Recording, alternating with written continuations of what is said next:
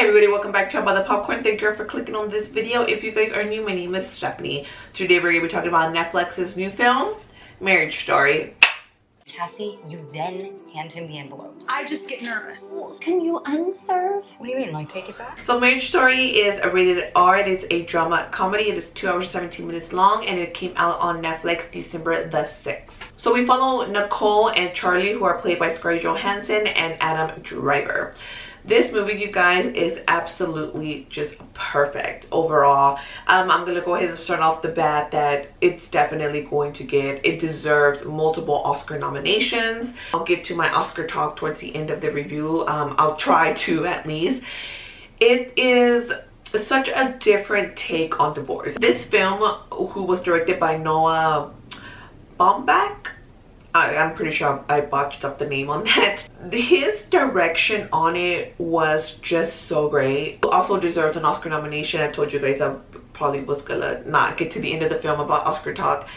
You could tell just how personal this film was to him. I really don't want to get too much. I always say I don't want to get into it and I always get into it. I'm not gonna give spoilers because you really need to see this film. You really need to embrace it and just kind of get captivated by the beauty that it is. Nicole and Charlie literally just brought me into their world. They were just so natural throughout this whole film you guys. Like i was able to really engage into their relationship or or the end of their relationship and just really get lost in the film and honestly forget that i was watching the movie. The beginning is the only time that you actually get a glimpse of their actual relationship of who they were as a couple. Throughout the film it is about the end of it. It is about their divorce and what they're going through and how nasty it gets once you do get the lawyers involved. It just grabs you immediately. Well, I mean, it grabbed me immediately. And then after that, you know, you see the downfall of the relationship and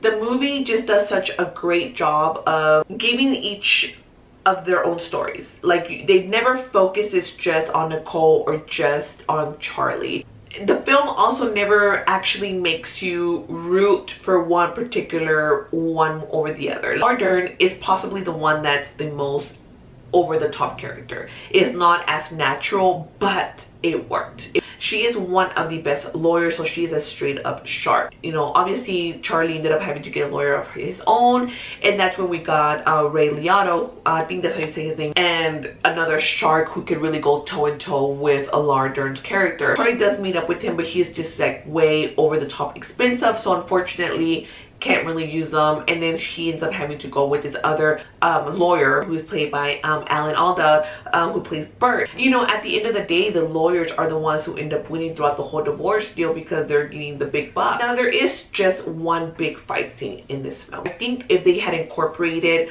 more arguments it may not have been as great. But because we did get the one that just really just both these characters just really let everything that they had building up with all these years that they've been together they just let it out. And is possibly the best scene in the whole movie. One of the best scenes. Well plus no actually i think it might be the best one. I didn't cry you guys. I mean there at the end i did get a little bit teary but in that particular fight scene i could see a lot of people shedding tears. I didn't. I was just so in awe with the performances you guys that i just i i don't think my actual emotions really processed throughout the whole thing because at the end of it i was just like this right here just proves just how much they deserve these Oscar nominations. Right now, him and, and Joaquin Phoenix are like toe in toe with Best Actor. And I know that this review is kind of like all over the place, you guys, but I really didn't want to give too much away. I really want you to really see this movie and really get lost in it because it is so good. It's gonna get compared to Kramer versus Kramer, which because I am a horrible film critic. I actually have never seen, but I have heard that it's being compared to that a lot. It is on one of my to watch things of many to watch movies that I need to see. Yeah, but let's let's get to the to the Oscar talk. Noah, and I'm not even gonna say his last name, definitely deserves an Oscar nomination because he directed the shit out of this film. It also deserves a Best Picture nomination. It is one of my top contenders at this point, but definitely both of these um, actors deserve a Best Actor and Actress nomination for their performances in Marriage Story because they did absolutely phenomenal possibly their best performances ever. Editing, score, screenplay also deserve a nomination in this. We'll get to full on more when I do get my Oscar prediction video. Whenever that's gonna be, I don't even know when. And I did forget to mention that there's actually two like musical numbers. Not really musical numbers, they're just singing.